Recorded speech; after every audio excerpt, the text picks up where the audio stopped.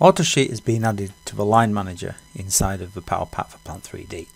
The Line Manager was introduced to help us to manage our line groups more efficiently and breaking the line groups down to allow us to add them to sheets in an intelligent way.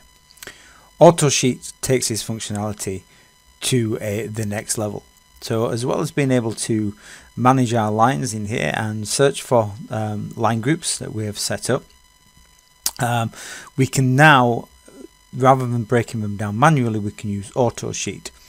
AutoSheet has two functions, and within the setup within the line manager, we can break our line groups down by BOM, so the number of elements in our bill of material, so maybe just five, or more importantly, um, to a size for fabrication. So this is, this here is the size of a standard US flatbed trailer. So we can now start to break these line groups down um, into manufactural, into fabrication sizes. We have the option to do individual line groups to uh, one at a time.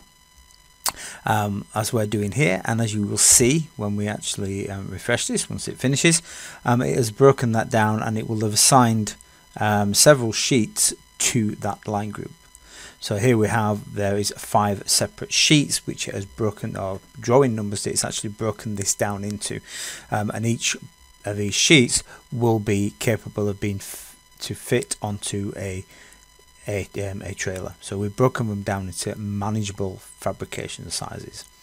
We also have the ability, if we show all of the line groups, to actually run this on the whole of this drawing.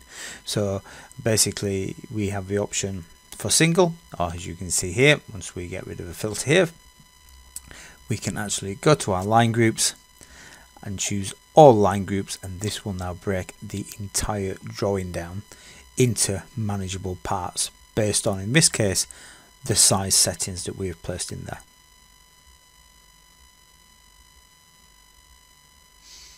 And it doesn't take too long. There we go. That's every single one of them line groups. Now, as we click on them, you will see the drawings appear at the bottom. Depending on how complex and how large that line group is, will obviously depend on the number of drawings that are generated.